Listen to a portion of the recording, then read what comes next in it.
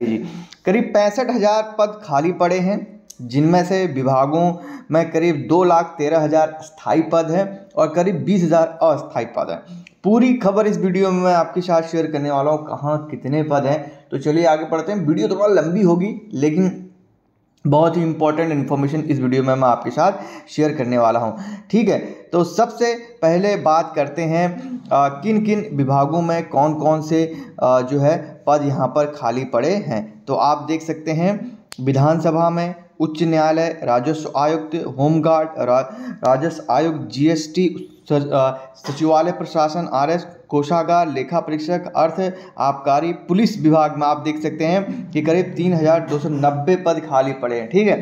इसी तरह से कारागार माध्यमिक शिक्षा परिषद में करीब दस हज़ार पाँच सौ अड़सठ पद खाली पड़े इस तरह से शैक्षिक अनुसंधान, प्रारंभिक शिक्षा यहाँ पर आप देख सकते करीब ग्यारह हज़ार सबसे ज़्यादा पद यहाँ पर अभी तक आपको दिखा देंगे। उच्च शिक्षा, संस्कृत, तकनीकी शिक्षा, युवा कल्याण, खेल, संस्कृति, चिकित्सा, सेवा, स्वास्थ्य विभाग, आयुर्वेद विभाग, इसकी तरह से आप देख सकते हैं। अलग अलग ये टोटल ग्राम आप देख सकते हैं, अभियंत्रण, उसके अलावा लोक निर्माण विभाग, वन विभाग, परिवहन विभाग, पशुपालन विभाग, वन विभाग में आप देख सकते हैं, जिसमें बहुत सारी भर्तियाँ आपके वन दरोगा और तमाम और भी इसमें आते पद उद्यान विभाग। तो कुल मिला के आप देख सकते हैं, करीब पैंसठ हज़ार पद यहाँ पर खाली पड़े हैं। तो यहाँ पर कहा गया है कि पैंसठ हज़ार पद खाली हैं। सबसे अधिक शिक्षा विभाग में ये पद खाली पड़े हैं। तो कब ये भर्तियाँ आएँगी, इसके ऊपर लगातार एक जो है क्वेश्चंस उठता रहता है। तो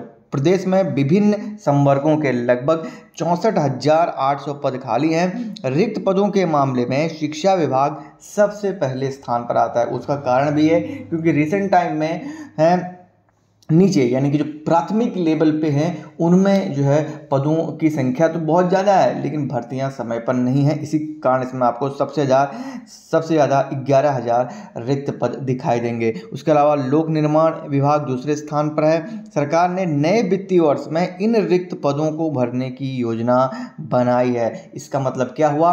कि ये ये भर्तियाँ जो है चौबीस पच्चीस की जो फाइनेंशियल ईयर है, उसी में आपको आते हुए नज़र दिखाई देंगी। प्रदेश में राष्ट्रपति यानी कि श्रेणी क और ख के कुल मिलाकर बाईस हज़ार तीन सौ उनसठ स्थायी और लगभग एक हज़ार दो सौ अड़तीस अस्थायी पद यहाँ पर हैं। उसके अलावा, और यानी जो स्वीकृत पद हैं, लगभग तेईस हज़ार 607 स्वीकृत पद हैं। इनमें से करीब पंद्रह हज़ार पाँच सौ ग्यारह पद भरे हुए हैं और करीब आठ हज़ार छियानवे पद खाली यानी कि श्रेणी ए और ख की।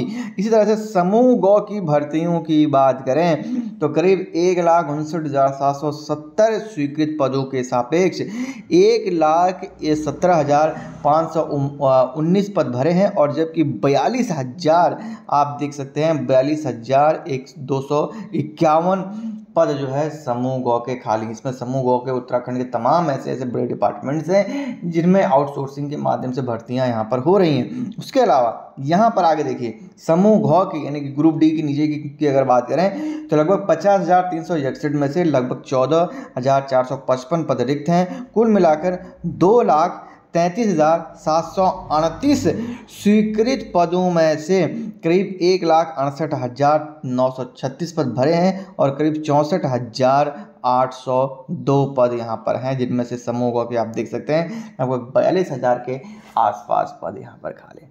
तो कितनी मात्रा में पूरे उत्तराखंड में पदों की संख्या खाली है?